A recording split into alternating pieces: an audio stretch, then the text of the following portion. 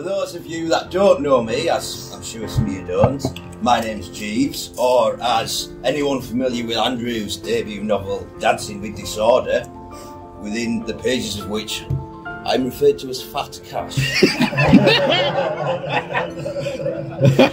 so I am delighted to be here to get my chance to put the record straight.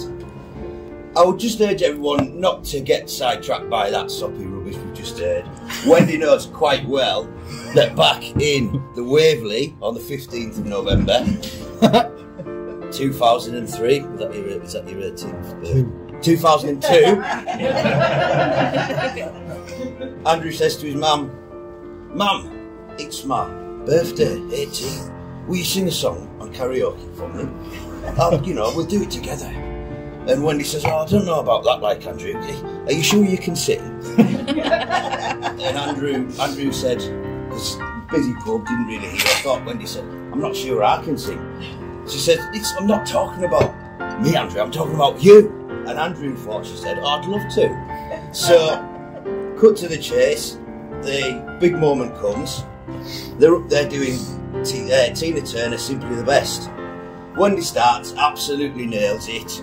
Three lines in, she's already got them up on the tables, classing, uh, clapping along, giving it the old Tina Turner leg dance. You know, she's taking them home. You know, like you get your idea. When Wendy Wendy's up there, bringing the house down. Wendy.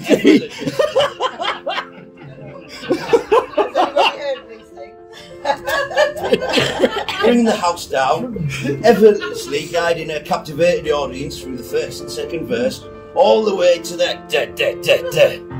And then, instead of stealing the show, blasting into the chorus, she effortlessly and selflessly steps aside with all the love of a mother to give Andrew his big moment. He's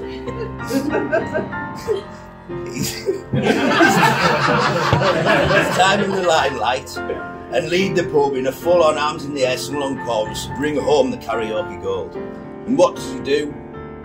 He blurts out, I love you, Mum. Blubbing right down the microphone. Ruins Wendy's chances. Costs her a full jug of cheeky Vimto, which was the price for the.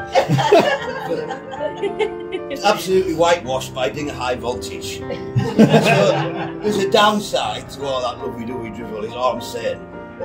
But, anyways, I've known Andrew for quite a few years longer than I've liked him for. And it wasn't several years until we became friends. And anyone who's read Andrew's book, which I haven't, they're called Fat Cash. So, anybody who's read Andrew's book will know that what brought myself, Martin, and who, what's your, what's your name? Dean Gobble. Dean- I thought it was Dean Dingle Gobble. Dinger Bell. Dinger Bell, Dinger Bell.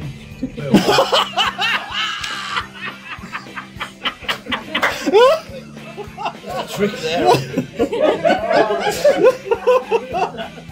but anyways, anyone who's got all noses, or was even on, on the scene in Penrith back in the day, will know we were brought together by the very serious power of the dance. Now, is there anybody here who hasn't heard of chicken dancing? Everybody's heard of chicken dancing? No, these people. Andrew? No, These people haven't read your book either. you, you, you know my dancing dexterity. but if you're not familiar with the pomp and ceremony, chicken dancing was a bit like, if you can imagine, Britain's Got Talent or Strictly Come Dancing, but it was just like three teenage boys driving out into the middle of nowhere, parking up, getting out, dancing in their headlights one by one, and the other two used to sit in the car and we used to mark each other out of 10. just don't understand. You don't get it, huh? Very serious. Good, business. wholesome fun, the ending of thought. so I can't tell you it wasn't a bit of a shock when Andrew whipped his kecks off, starts slapping his lash around with one hand and waving his t-shirt out, foot up on my dashboard, like just so me and Dinger get, you know, really good foot up on the bonnet like this. but I can and I'm sure Martin will agree, we stand firm in our conviction that alongside CFM, he's quite a big lad for a club. and it would be fair to say that taking his clothes off became one of Andrew's favourite pastimes. Probably not the hobby Wendy had when she was, you know, cradling him in her arms and drying his tears as a baby, or when Alan Shearer left Newcastle, or even New the other week when they qualified for the Champions League.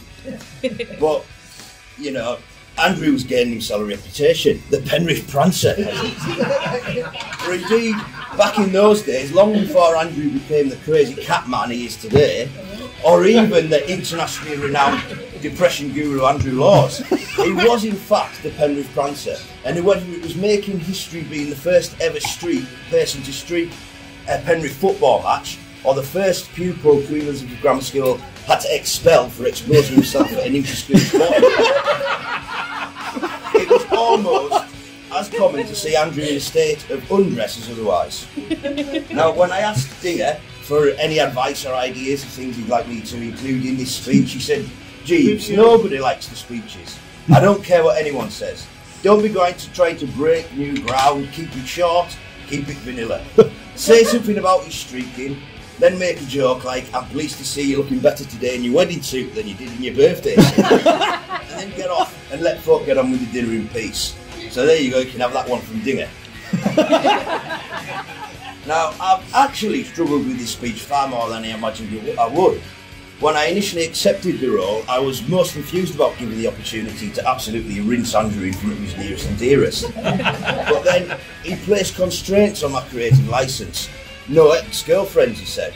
And I presume he also meant any stories about the tattoos that cover up the names. and I also assumed he meant his first marriage, marriage number one, but I don't know why he's feeling down about that because statistically it means that this marriage has only got a 60% chance of divorce.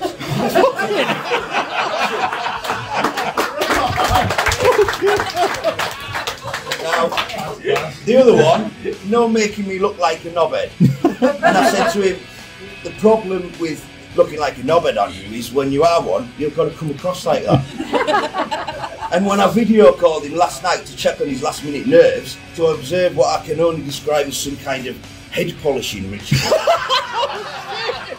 it dawned on me his head does look a bit, a bit like a. Now, I did imagine myself I did imagine myself starting to round things up about now by saying something clever and profound about love. But in all honesty, I couldn't think of anything. So, in despair, I turned to my philosophical and psychoanalytical mentor, Zizek, for help on the matter. But what he said was that as a human being, to single out another human being and raise them up to say that this is the one thing that I love more than anything else in my life is one of the most violent acts that you could ever do to somebody. so that wasn't very helpful either. In the absence of anything intelligent to say, I turned to Andrew. Andrew, tell me how you and Hazel met. Now, I'm sure that anybody who's read Andrew's blog can relate. The answer I got was far too lengthy to recount. but the gist of it is this. Hazel's had a hard day, absolutely bossing being a single mum, looking after two kids and working a job and all, because she's a strong, independent, modern female. Only trouble is, in the whirlwind of getting the kids sorted and getting out to work, she's forgot her glasses. about three quarters of the way through the shift, just as she's about to the point where she's had enough and wants to go home, Andrew and his travelling companion, John Burns, staggering half cut, recently returned from a holiday in Egypt. Andrew spots Hazel across a crowded bar room.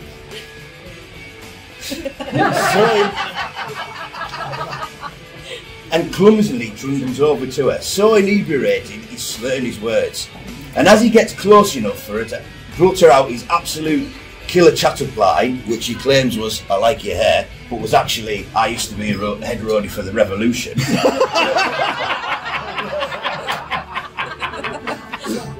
but like I say, the pub's heaving, lots of noise. Hazel hasn't got her glasses on, can't really tell what Andrew says at all. All she's saying is, Jesus Christ, should have put my glasses on. Doesn't have to look like Tyson Fury's bro. the other one he used to get, incidentally, other than a fat Tyson Fury, is back in the day when drunk women used to tell him he looked like Peter Andre. That, that wasn't a case of forgotten spectacles, I'm afraid. Those are called beer goggles. they take a while to kick in, but once they do, you know, good stuff. Always good in the end because they had a second date. Here's lad of spectacles on, and the rest is history. But now Andrew wants me to say something that's nice and sentimental, you know. But You don't do that. well, I was going to until I found out they're flouncing off to Italy next week, leaving me and the kids behind. no, I'm not gonna. Uh, you know, like everybody's hungry, everybody's wanting the food. So, what I will say is, I'm going to leave you with one of the probably. Can't. It's, it's so profound. I can't even put it into words. It's a life lesson that Andrew has taught me, and now I'm going to pass it on to you when I can find where I've written it. and it is an incredible lesson. And it's one Andrew's taught me, and despite being a bit of a knobhead, as we've discussed, I do still feel immensely blessed to love him like a brother, because opposites attract. But there is one invaluable lesson that Andrew has taught me, and if there is anything above everything else you have heard or seen here today, it is this that I would implore you to take away and carve into your brains should you ever forget. It is a lesson I will be eternally grateful for, and I'm sure as you move forward from today into the future and hold it close to your heart, you will too. And it's this never, ever, ever stick your finger in a cement mixer. Before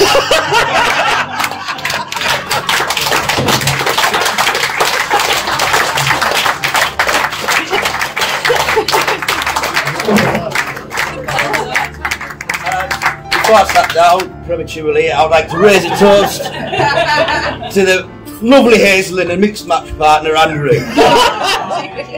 Cheers. Well done, Dale. I did help, I did help him with this.